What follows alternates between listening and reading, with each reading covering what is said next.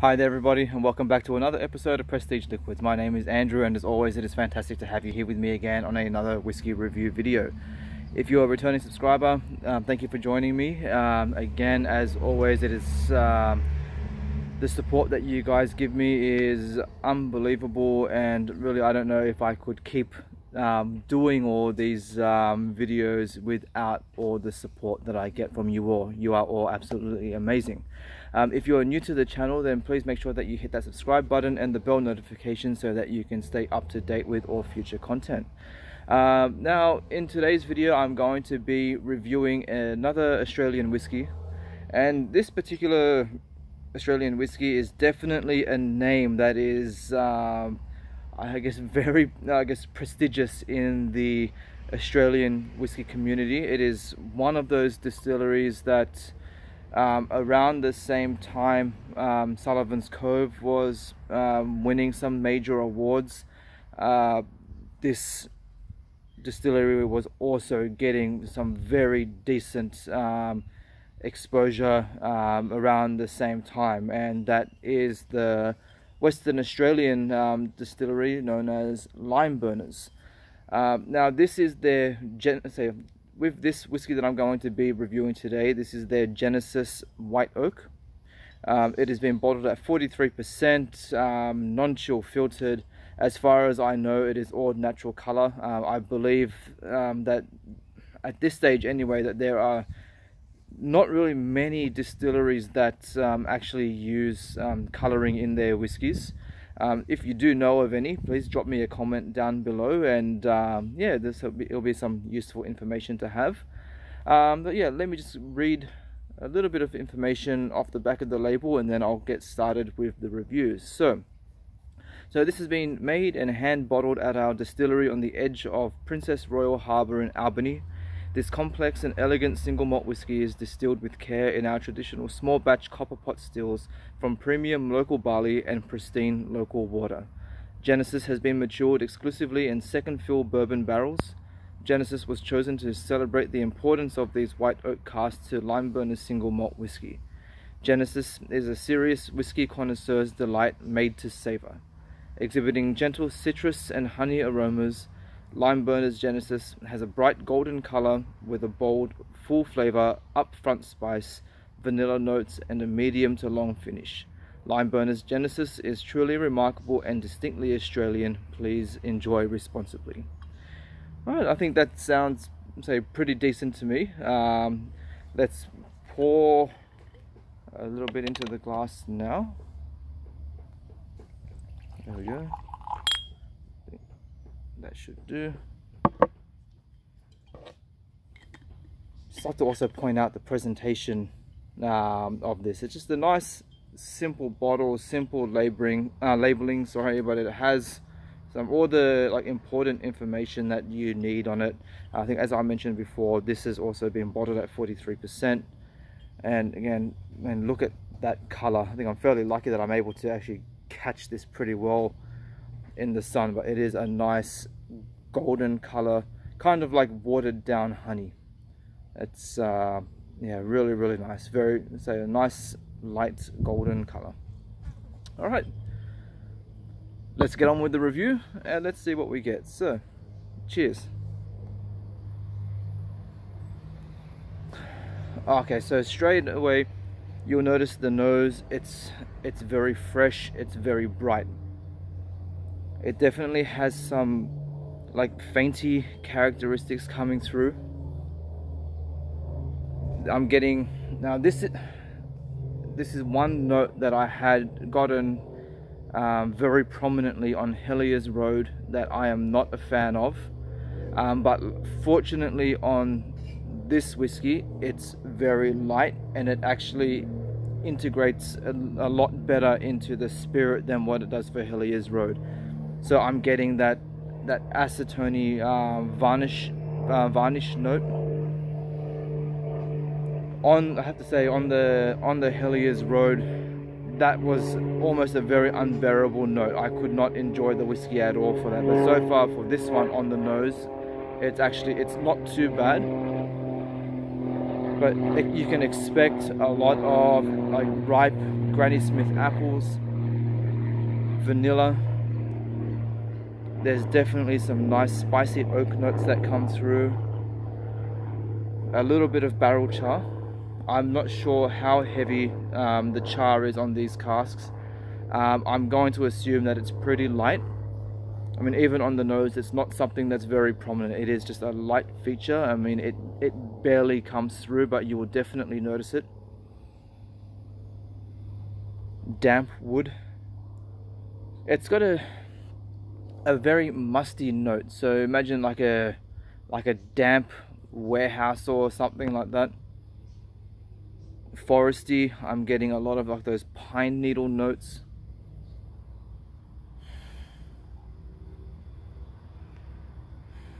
A little bit of vanilla bean. It's quite floral as well. A lot of the notes coming off this is um, pretty much like a an Australian an Australian Speyside. I think that's probably the easiest way to describe it. So you've got like those nice, those nice typical orchard fruits blended in, like I say, with uh, like those apples, vanillas. You're getting a nice gentle aroma of the barley, so it has a very nice like natural earthy grainy note that comes through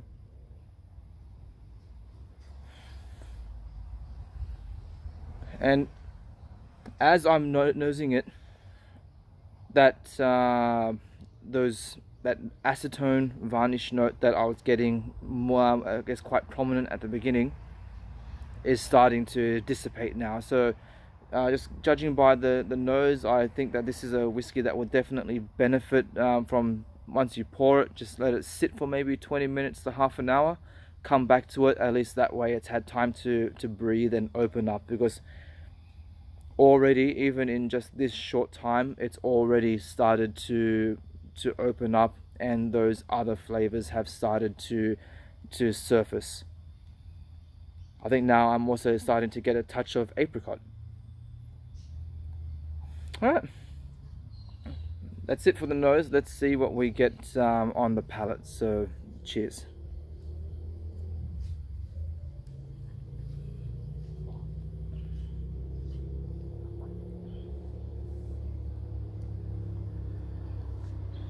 okay so the mouthfeel it's very elegant on this. It's soft it's smooth.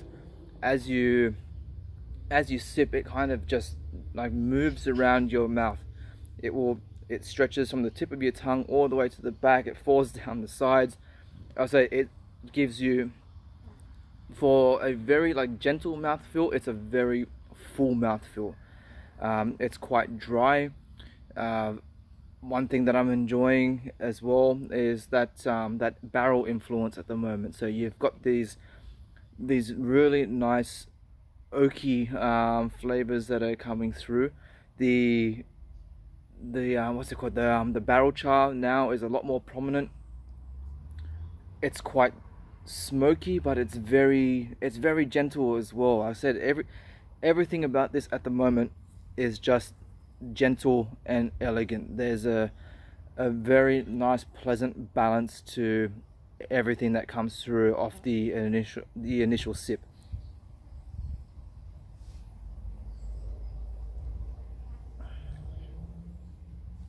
So expect more of those apples and pears. Um, the vanilla notes are very um, are definitely there. It is slightly citric.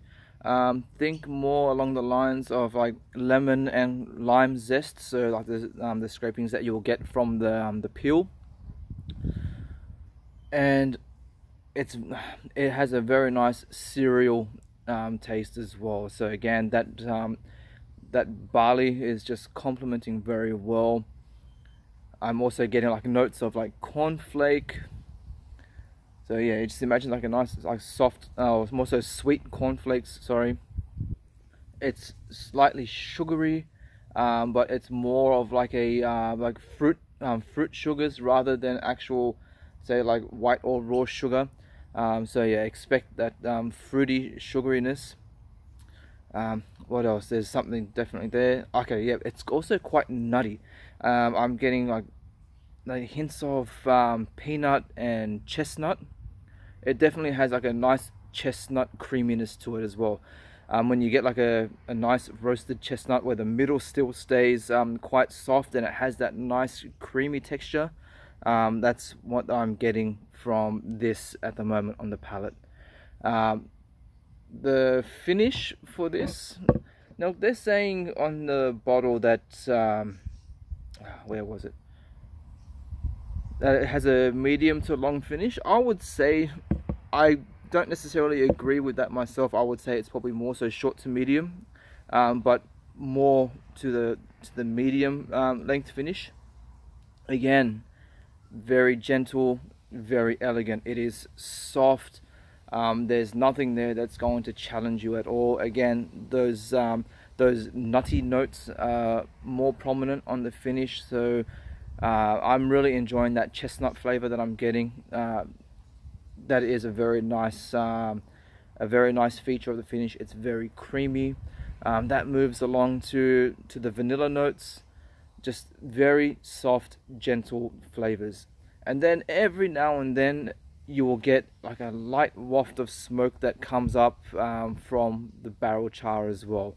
I think the um, the barrel notes are something that's definitely been well integrated into the spirit and it just balances things out really really well.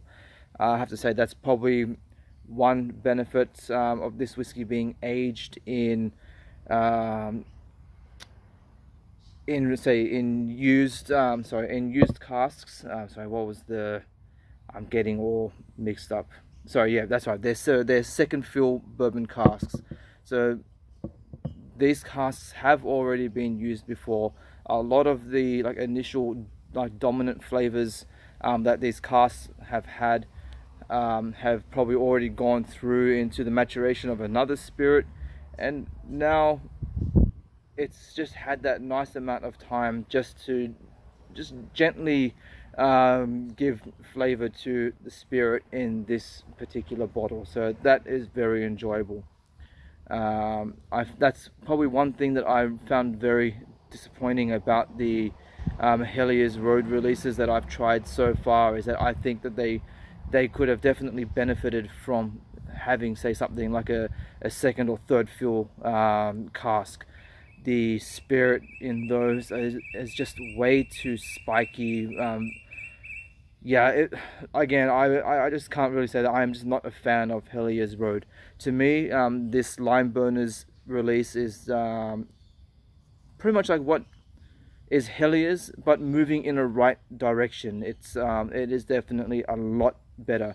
I think if you were if you were going to your local bottle um, bottle shop and you're deciding whether to go for say like the Hellyers Road or um, the Limeburners Genesis, um, I would definitely pick this over the Hellyers Road um, any time of the day. So um, definitely keep an eye out for this at the moment. I do believe, I mean, I can't mention what stores at the moment, um, but I do believe that um, this is available on sale at the moment at a, I guess, a lot of local retailers. So if you're able to find it, definitely keep an eye out for it. You can get it for a decent, um, you can get it for quite a decent price at the moment. All right, I think I shall leave it at that. That's all I have to say. Um, yeah if um, actually one thing I would like to ask as well, obviously I do feature a lot of uh, whiskies or say Australian whiskies on this channel. Um, if there's an Australian whiskey or a Scotch or a bourbon that you would like to um, to see me review, um, let me know in the comments down below, and I'll see what I can do about uh, making that wish come true. So, all right, that's it. I'll leave it at that. My name is Andrew. This is Prestige Liquids, and I'll see you all again on the next video. Give this.